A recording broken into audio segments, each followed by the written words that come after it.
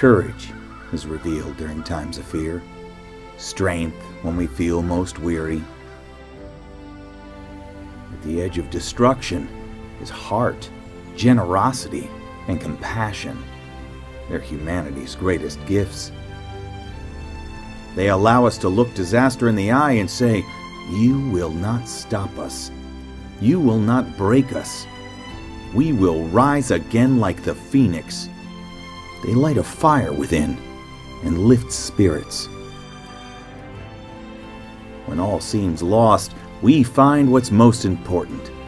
Armed with smiles and shovels, angels appear to help rebuild lives. Faraway friends assist people they've never met in places they've never visited. Why? Because family takes care of family. That is the heart of the Phoenix. And that is why KW cares.